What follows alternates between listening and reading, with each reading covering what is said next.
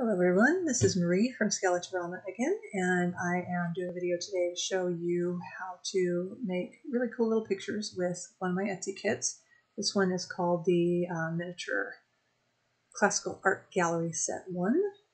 There's only set 1 on the site. I haven't gotten around to making a set 2, but you know, I figured it probably would eventually, so why not go ahead and number it like that. Anyways, these are um, some different artwork pieces and things, and the kit is designed so that you can make your own artwork to hang in your dollhouse. So we'll talk about that a little bit more in a second after I show you the kit. So this is the kit here. You have some different pictures, and there's lots of different sizes. Little small ones for portraits, very large ones. This hangs in the dining room of my dollhouse. And of course it's Scottish because you know, I have to have something Scottish in there because that's just me. But uh, same here. Have some more kind of medium-sized ones. We have some really large ones. And then it also comes with a sheet with some frames. So the frames are designed to work with the paintings. So say this frame, for example, will fit these ones. I've sized them so that all of these paintings will fit in at least one, if not more of these, or you can end up kind of cropping it down if you want to do, say, this frame and just have her in the center. Do whatever you want with it. You can scale these up and down however you need them as well to fit your needs. But um, they're designed so that if you don't have any like resin frames or plastic frames or, or things designed for doll houses, you can kind of make your own. And what I do with the frames is you know, I put them on chipboard and I'll I'll kind of layer them up so that you've got multiple layers. So, so I got one layer here, and then it kind of progressively goes in based on the design of the frame itself. And uh, that way it looks a little more 3D because you want it to be fairly thick when it hangs on your wall. Otherwise, it's going to look like you have a picture, a picture on your wall, and you really want to have a picture. So you can use it with or without the frames. The frames are just kind of extras if, like me, you don't have. I don't have any dollhouse frames. Uh, I wish I did because that'd be kind of cool, but I didn't. So that's what I did for that instead. So with this, I print these onto cardstock. Um, I like to have it a little bit thicker because you're going to be doing a lot of stuff to it, and we'll talk about that here in a second. But um, the cardstock is going to add a little bit of thickness, and with this sort of stuff, again, you're going for dimension, so you want all the thickness you can get. So one of the things that I do with it is I print them out, and then I put it on chipboard here. Okay, so this is a medium weight chipboard. It's about one thirty second of an inch thick. Um, I get it in 12 by 12 sheets on Amazon, Joann's, whatever. Um, the ones I use are a company called Grafix, but there's plenty of people who make this stuff. And whenever you get art supplies or things in the mail, keep an eye out for this because medium weight chipboard is also used on the back of sketch pads. It's used for um, padding and some of the stuff that they ship you to kind of if you stuff protected. I squirrel all of that away and I reuse it for this kind of thing. So this I put the sheets printed out on the cardstock and I just glue it down. Usually I use PVA glue for that, so probably, where do I put my, there's my glue, there you are. So it's going to be like, I use the Scotch Tacky Glue, you can use Aleene's Tacky Glue, you can use glitter glue, whatever the heck kind of glue you want. Um, I put it in a small bottle and then I put it on the back and then I put it on here. Or you can use Mod Podge, works really good. Um, if you want to make sure you don't have a lot of bubbles and wrinkles with it though, do a thin layer, and you got to work quick if you're going to do this whole page, but do a thin layer of Mod Podge onto your substrate, thin layer on the back of this, and then stick them together, and it tends not to bubble up as much on you. But once you have these on here, uh, there's a technique that I like to use with them to try to give them that sort of painting texture. So if you look at a real oil painting, it's not flat, right? Or flat with Mod Podge, which is shiny flat, whatever you want to call that it has some kind of brush strokes to it. So if we look at this one, for example, you can kind of see, see the little kind of brush strokey texture. Of course, frame has a little bit of texture accidentally too, but yeah, you can kind of see that in there. Um, I'll grab one of my, just a plain one here. So you've got this. You can kind of see the sort of brush stroke texture to it. That's what I'm going to show you how to do. So that is done using um, some stuff called matte medium. So this is the one I use. I use the Liquitex matte gel. Matte gel medium is used by mixed media artists for everything. It's great for, as an adhesive, you can actually use your, your matte medium down on here to use as an adhesive to stick these as well as you want, and it'll work just fine. Um, I'll show you an example. I do mixed media as well. I don't think I'll be doing any tutorials on the channel, but you know, there's people who do it way better than I do. But this is, uh, since it's Christmas time, I figured I'd show you the Christmas one. So I use that same matte medium to add some of the texture on top of here. It's a great adhesive, like I said, so it'll it'll hold this stuff on here. And you know, I made some of the texture to put the rust, rust texture on top of it. You know, so it's really versatile. But the cool thing is, again, it dries clear. So if you take this and you put a blob of it right here and you let it dry, it's going to dry as a clear blob, and then you can paint over it, sort of thing. It's great for leaving brush strokes and things, even though I did not paint this. If I did, it would be a very uh, lovely stick figure of Cleopatra that you would never know was her because, well, it'd be a stick figure because I can't paint. But it gives you those nice brush strokes in there. So you're going to attach this down to here, and then you would take your matte gel medium put it over the top and let it dry. And we're going to do an example of that, and I thought just for fun, because I haven't tried this yet, so I'm going to try it now. So if you're seeing this part of it where I'm talking about doing this versus me sticking it down with regular cardstock, that means it worked really nice. So I have printed this instead on printable canvas. It's the same stuff that I used for the carpets. It's this Koala inkjet cotton canvas. I get it on Amazon. I get everything on Amazon. You know, seriously, I have Amazon Prime. It's like crap. You get stuff in like 30 minutes, you know you didn't even know you were going to order it and it shows up at your door somehow. But it's this here. So it goes through your inkjet printer. So on the one side, you can see the, the fibers of the canvas material. On the other side, it's got a bright white flatter surface. It's because this has been gessoed. So again, if I were going to make a real oil painting, which I wouldn't because it would be just an unmitigated disaster, I promise you, I, I thought watercoloring would be easy once, and then I learned how to make brown because, yeah, all the colors mixed together, and I didn't know you were supposed to wait for stuff to dry, and yeah, so was, I, am not a painter, not at all. But this is this is how you would prep a surface for doing an actual oil painting, acrylic painting, anything like that. Put gesso on there, and it, it evens your surface out, gives you a nice starting color, so it's your color values are all even all the way across. It adds tooth and texture so that your paint can grab onto something. Um, so that's what they do with this. So basically, what I kind of did when I printed this is I I made a painting onto a canvas, except instead of paint, I used, you know, toner from a laser printer. No, this was an inkjet printer. Yeah, this stuff in laser printers does not get along well at all. It's it's bad. Um, but the inkjet printer, you know, so it painted it, whatever. So what we're going to do is we're going to do the texture stuff on here and see how that works. Okay, so what we're going to do is we're going to do, I'm just going to do one of them because that way I can do kind of a larger one. All the, the larger ones that I have that are larger than this, of course, are stuck to the wall in my dollhouse. So I, I tried to see if I had one. I tried to use the museum wax. It's like the tacky wax, and you put it on the back, and you can stick stuff sort of temporarily. You don't want to commit to actually sticking things permanently to the wall in your dollhouse. Unfortunately, it's not that great because it's I, I live in the south, so it's a bit warm here. And yeah, when that stuff gets a little bit warm, all the paintings go sliding right off the wall. So I got tired of that, so I just stuck them down. But as a result, I can't bring them here to show you. So what we're going to do is we're going to do this one here. And we're going to put the stuff on there. And then we'll uh, leave it to dry and I'll come back and we'll, we'll keep progressing through the rest of it. So what you're going to start out with, you got your matte gel. open this up. And see, it's got kind of this, I, I really need to get some more um, kind of, you know, weird textures, real thick, looks like library paste or something. Um, and you're just going to put it on with a brush. So I've got two brushes here. It really doesn't matter which brush you use.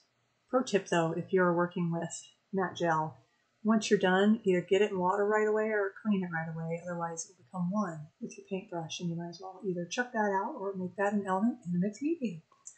Whatever you want to do. So, since this is a large painting, yes, we're going to want smaller brush strokes, um, but I don't want to sit here and put the initial application on with this because we'll be here all day. So you just take your paintbrush, underneath. See how it's nice and thick? And just start spreading it all over it. So it is going to all over the place. You put it on there nice and thick and nice and rough. Because again, what you're wanting is that texture. You want this to look like it's a real painting, right? So the thicker you put it on, the better. Well, don't go crazy, but and again, it's it's white on here right now, but it will dry clear. Let's just put a big old blob. Why not? Just kind of spread that around. And these brushes, I don't use like my nice brushes um, for this kind of application. I'm going to use, you know, my dollar store style cheapo-ish brushes or, you know, Michael's Variety Pack or whatever. But so we're getting that first layer on there, nice and thick. And it does dry you know, decently quickly. It's not super crazy, but you really don't want to, to mess with it once you, you've got it on there the way you like it. You don't want to mess with it until uh, it's completely clear again and nice and dry. So we're going to put this on here. We'll see how this works with this canvas because, yeah, again, oil paintings, real ones are done on canvas.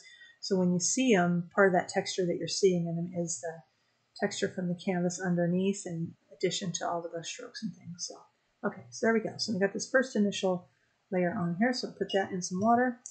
Now we're going to put the top on this because this will dry out. And it's not the cheapest thing in the world, so I always buy it on coupon. So then what I do is I kind of look at the painting itself and I start looking for the lines within the paintings, you know. So like if I were painting this, it, well, it would look like crap. But if I were, say, the artist painting it, which, you know, where would my brush strokes have been kind of thing. To just sort of give it that little more believable um, texture look to it, you know. So, can do that. And make sure you get all of it. But just kind of move it around. I mean, you don't have to go too crazy with it. Okay, so let's see, a bit more like that. Yeah, that's good enough. Good enough for government work. All right, so what we're going to do is we are going to let this dry, and then I will come back to you for the rest of it. Okay, and we are just checking in with it. It's probably about halfway through the drying process. As you can see, see how like crazy warped that is? it will flatten out. Uh, it's just that the liquid content of this stuff here is interacting with the fibers and everything. So as it's drying, it'll flatten back out. But uh, we'll check back again here in a few minutes when it's dry. So we're back, and this is completely dry now. And it did retain a little bit of that warping. So um, we're going to try a couple things. This I should be able to glue this down so it's straight. If not, I have another idea, and we'll, we'll try a different one as well. So now that this is dry, we're going to cut this out. My apologies, but I live next to an airport, so apparently they've decided they're going to fly something really loud by. That's why not.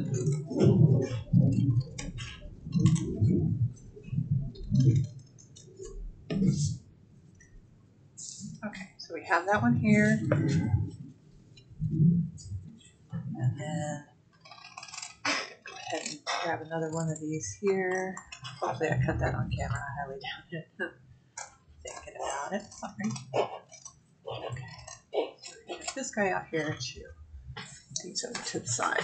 All right. So when we go to do our picture, um, we want to trim this up a bit and we're going to mount this to something else so that it, it has something to then mount to the wall in the dollhouse with. So we're going to use that medium weight chipboard and glue this down.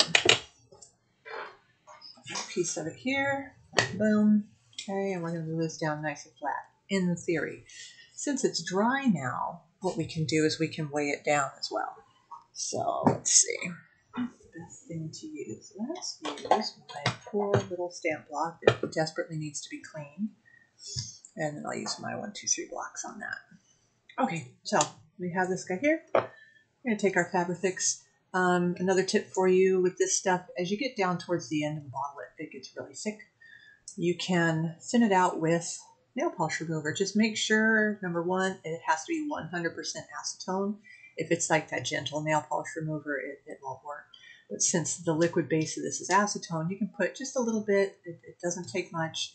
And just kind of swirl it around in there. Um, until it sort of loosens up for you. But that's in the other room, so I'm just going to go with it like this.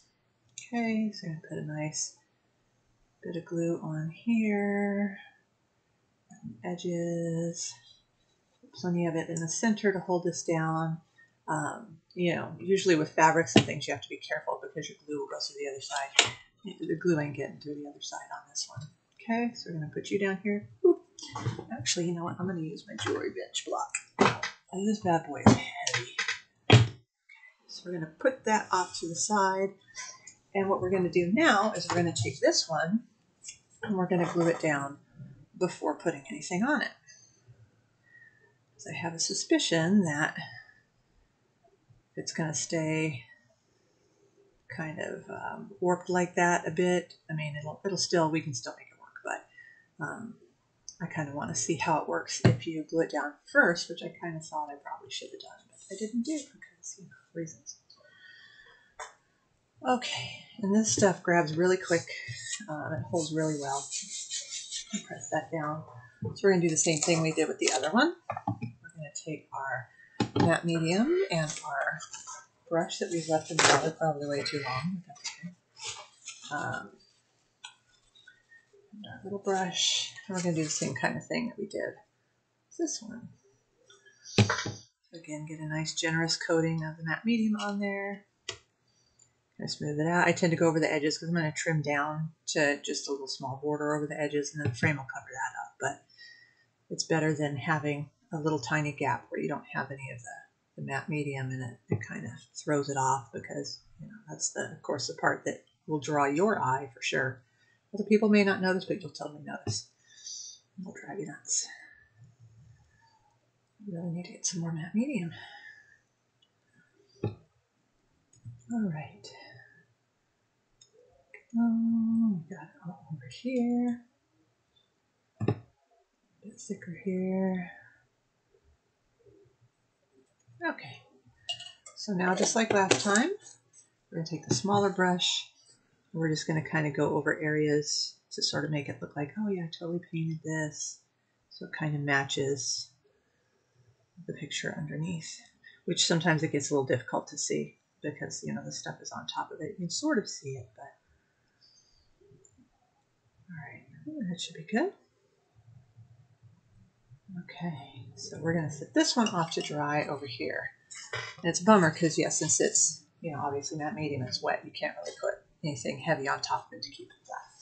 So um, I'm going to get some stuff ready to work on the frames, and we're going to let this dry, and then I will be back. Okay, so what I have done here is I have taken the sheet that had the um, pictures of the frames on it, and I have printed it off a couple times because I want to do a few different layers on each frame. And then I have my favorite medium white chipboard here, and so I'm going to glue these down. Um, again, I'm just using regular PVA glue for this, and of course, oh, I hate it when it does that. You of there. Okay. Every time. Never fails.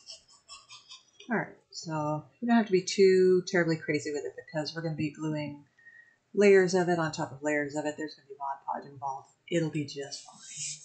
But we just want to stick it down here so that we can cut it out.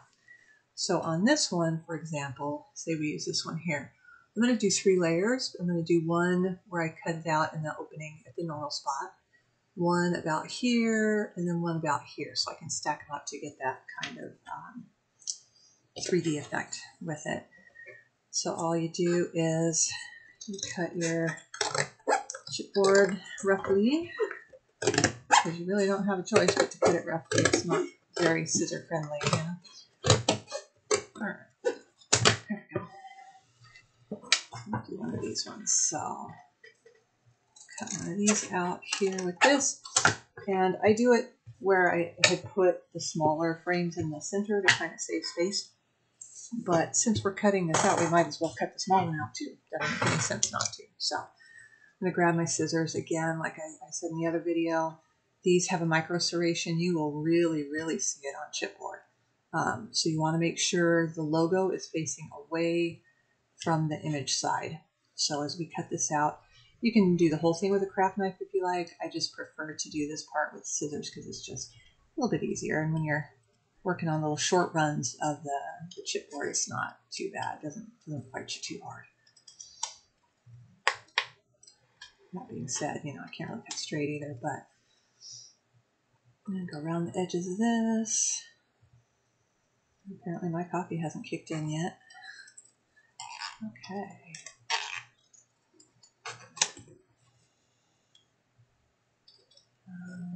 These edges.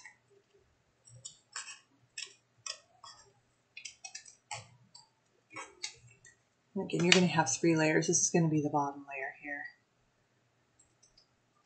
And we're going to do a bunch of cool stuff to it. But first we have to do a rough cut on the outside. Okay, so there's that part there.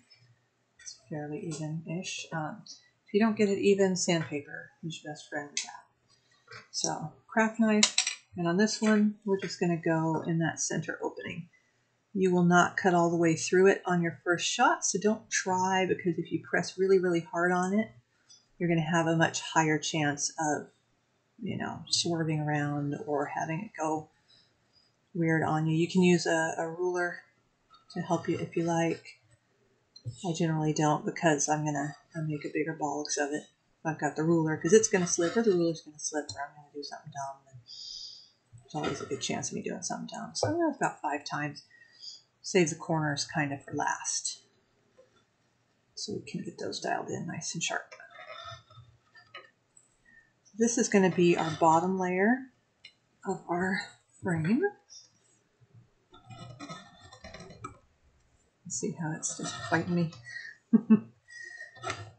loves to slip around, but if you've already got that groove in there that you did on the first pass, then again, you're less likely to slip and across it. Having said that, I'll probably do exactly that. That's just how it works.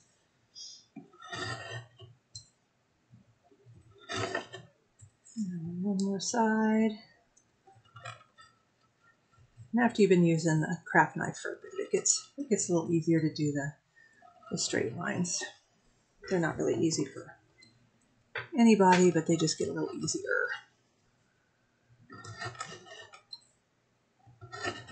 Okay, I think we're all the way through on that. And this glass cutting mat makes it easier, so you kind of see, need to work on our corners.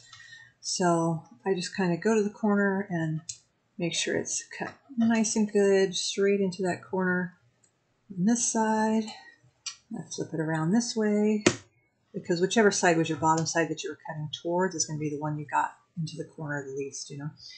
So it'll take a little bit of work, but just be patient with it until you get all the way through. You're going to do the same over here on the top. And flip it around and do that on this side. So that's not too bad. Okay, let's see how well we're breaking out there. It's just kind of a matter of cut a little bit and try to wiggle it, cut a little bit and try to wiggle it. The corners take a minute, but you don't want to be impatient and, and kind of pull at them because then it's not gonna not gonna look very good because you'll have a piece of it torn off and hanging off, and nobody likes that. So there we go. And then with this, you can just around to the back and just kind of help it out a little bit. Okay, so there we have our first frame. So what I'm going to do is I'm going to um, cut the other frames, at least definitely around, um, so you don't have to sit through and watch all that boring business. And I'll come back to show you how we're going to put them together. Okay, so I'm back, and as you can see, I've got all three of them cut out now. So they're cut with different sizes of openings so that when we stack them, and this one printed out slightly smaller. I don't know what happened with that. It's bizarre, but it's okay because it's going to be in the center, so you won't see it. So once we do that, we can now stack them up. See how they're going to kind of stair step, you know, obviously straighter than that when we put them together. So our first step is going to be to take our Mod Podge, and I use the one with the antique in it. uh, matte. You can use glossy if you want. There we go. So I'm able to open that. Okay. Put Mod Podge, and I'm going to put the Mod Podge on the frames. Because what that's going to do is that's going to seal the paper. And make sure you get your edges so that way, you know, if you didn't do the best job in the world of gluing it down, at least it'll keep it nice and stuck on there. Okay, we're going to be layering these, so you'll have plenty, and you just realize I'm probably nowhere near the camera because where I can see is way over here, but you know, what can see is over there. So, all right, go. I'll pause these. And the, the antique in this one gives it kind of a cool, um, it's not super noticeable, but it's it's a little noticeable, gives it a little bit of an antique tint to it. And we are going to these, I set these up here so they can dry. And while they're drying, we're going to take a look at our pictures that we did. See how those are doing.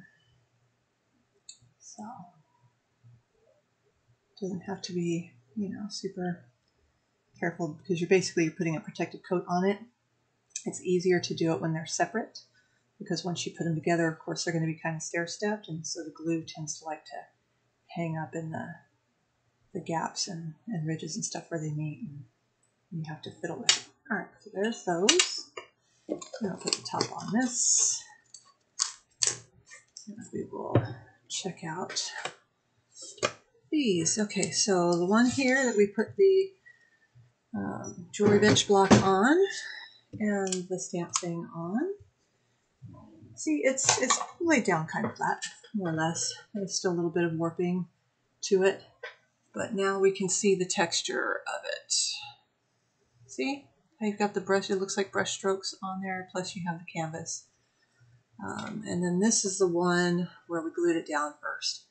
And there's a lot less warping, which is what I thought. I knew I should have done it that way from the beginning, but it's okay. It's a learning process, you know.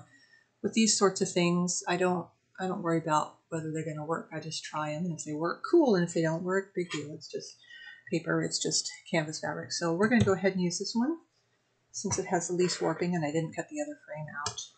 So just like with everything, we're going to cut this out with our scissors.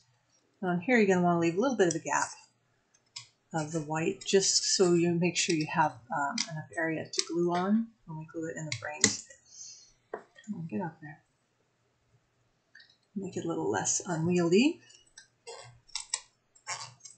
Now, if you are really dedicated, you could, you know, make a little square and stretch this canvas over it. I am not that dedicated. See, I can't even do a straight line, so I think I'm stretching canvas. Yeah, that ain't happening. All right, come on. Work with me here. There we go. And yes, kids, even scissors can be dangerous in the wrong hands, which would be, you know, mine. Okay. there we go.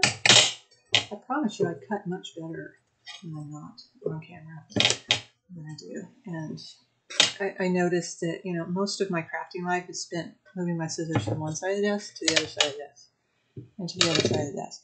Okay, so this is going to be our picture, and this is still a little wet, but see it's going to sit right in there like that. So on these ones here, you'll notice that the frames are quite a bit darker than what these have printed out. That's not miraculously for me a printing or toner issue. It's because I tinted them. I wanted them a little bit darker to fit in with the, the color scheme of the house. So what I did is I did the Mod Podge because again, it's going to protect your paper on your frame and it's going to protect it from any kind of painting or aging. So I aged this using this right here. So this is um, so Art Alchemy Finnabair liquid acrylic in burnt sienna. It's a nice brown color. Um, liquid acrylics are great, or fluid acrylics if you want to get those as well. They do the same thing because they're they're transparent-ish. They're not super transparent, but they're transparent enough where I could go over it with this and it, will tint that but not obscure everything under it. You can also use um, some of the gel stains and things, they'll they'll work on this too. They'll kind of sit on top of it, but experiment with it first because it just really depends on the stain and how well it uh, feels like playing with everything. So since these frames are a little too tacky still, I'm gonna do the whole magic of uh, YouTube thing and come back here in a few minutes when they are good to go. All right, so these are probably dry enough. So what we're going to do is we're going to stack these together. So you're going to use your frame that you kept all of it intact, obviously, as your bottom because you want to build it out from the center. So we're going to take the next one up, which is this one here. And you can just use tacky glue. You can use, you know what, let's use. I just tend to trust the Fabrifix a little bit more for holding stuff down. Not that the tacky glue doesn't, it totally does, but Oh, see how this does this thing where it's just like, hey, I'm just going to leak glue out. That's how you know with Fabrifix and Fabri-Tac that it's getting a little thick because some of it will get trapped up in the top and the fumes from the acetone base in there kind of evaporating up We'll press it up through the top and it does this volcano thing. It's super annoying. So just always put your lid back on between using it, otherwise that'll be everywhere. All right, so let's take a look at this. Should be this way here. And then we're going to put this here. Now remember that this one, for whatever reason, printed out a little smaller. So what we want to do is we want to line up this inside because that's our next step here to make sure that's nice and square. And you do have a second with the glue to kind of move it around and press it down real good. If you get any extra, you can just use your fingernail, you can use a toothpick, um, and what have you. And so we're going to take this third piece, this is going to be our little outer piece, and we're going to put glue on it. Yeah, I really do need to, I do need to hit this with the nail polish stuff, for sure. It's a little thicker than it's supposed to be, but that happens when you, when you get down towards the bottom. Alright, so fairly thin bead of glue because we don't want glue just oozing all over the place. So you have to clean it up. So let's put this on here. And so now we're going to line up this part here so that we've got that part square and then this part square and that makes the outside. And sort of sandwiching those down. The nice thing with the Fabrifix, Fabri-Tac, the acetone base glues you can just kind of keep pressing it down for a minute. It's gonna it's gonna grab on there real good. If you're using a PVA glue like tacky glue or something like that, you may want to um, use clamps clamp these down because again, that that type of glue is going to tend to make it warp because it's water based, and everything that you're putting together is paper, so it's going to want to kind of move around. Okay, so now we have our 3D frame. So now, had this not printed weird, I would then sand the edges just to get them nice and even. So this this would be a great candidate for a wall on the back of the dollhouse where you're not going to see the side. so, and as we can see, we'll put this on top of here. So it's going to look really cool. All right, so what we can do for tinting it, so grab just a scrap of whatever because I hate having to clean up my um, palette. Now, since we have put the Mod Podge on there, the paper is sealed. If you try to do this without putting Mod Podge on there first, paper is very porous. So it's going to take all that pigment and it's going to soak right in and you're not going to be able to move the paper around like you want to. Um, acrylics are water-based, so if you want, you can thin them with water. And if you get too heavy of a bit on there, you can grab some water and kind of move around too. Um, with the liquid acrylics, a little bit goes a very long way, as you can see. So we'll just kind of go over this and get this tinted up just a little bit. See, it hardly takes anything to give it that kind of, you know, almost like it's been stained um, appearance. And you can keep doing this as many times as you like to get the color range that you like to. If you like the dark wood look, if you like the lighter wood look, you know, however you want it. And get the inside edges of it so it doesn't look quite like cardboard, which is always nice. Don't want that. And see on those edges, it's going to soak in really quickly because we haven't really protected them as much as we did the paper.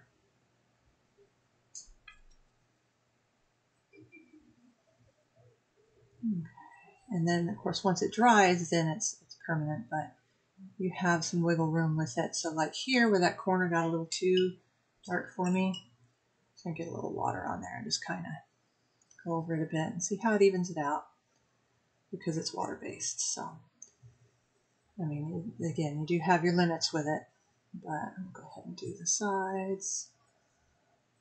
That'll make that unevenness a little less noticeable. Not much, but a little. Took a little too much off of that part there. So you can keep going over and over until you get it you know, to where you want it. Um, and then afterwards, if you want to hit it with another layer of Mod Podge, you can. That'll, of course, protect it even more. Um, if you want it to have kind of a gloss, you can use that. Um, Sculpey makes this really cool gloss glaze, but I have not been able to find it lately. So they probably figured out that I really like it, and so like, get that off the market instantly because she's going to buy another bottle of it, which happens to me with all kinds of things. Okay, so there we go. And kind of touch that little spot up in there where you missed. And, and with this kind of stuff, just kind of hold it to the light um, and move it around, just like you would like with mixed media and, and things. You, you always want to kind of move it around so you can see spots that you missed. Because if you're just looking in one angle, you know, you didn't see it in that angle when you went to paint it. Well, sure you're going to see it now. So move this around, make sure we got all the inside, looks good. Okay, so there we go. So we'll let that dry. That dries pretty quickly. Um, I usually like to do two coats because you can see the, the first coat tends to be fairly rough on there and you're seeing brush strokes and things. And so I'll give it a minute and then I'll do like a second bit. Be sending out a little bit of water. And then the nice thing with my little cardboard thing here is super easy cleanup. I'm just to throw it away. Uh, a little bit more on there. And I've gone like way dark. Normally I wouldn't quite go this dark with it, but oh, it's gone fairly dark. Okay, so there we go. So there's our frame. Um, you can then, if you like, take use this gilding wax here you can go around the edges, you can go around the center um, with it. I mean, there's so many things you can do with it. You can also, if you don't feel like doing the frames, so they can get a bit fussy, and again, you know, making them in layers is very optional, but you can also use wood scraps. So you can either take, like I have strip wood here, so I've got this strip wood, and I can add another piece here and you know build it up to make it its own frame kind of thing. Or if, like me, you've got extra trim left over from making a dollhouse, this makes a great frame. So you would just measure it and then you would miter the edges here and, and make a frame out of your leftovers. So there's lots of different ways to do that, but I was on Amazon earlier today and I was looking for trim. I have another dollhouse kit that I'm going to do.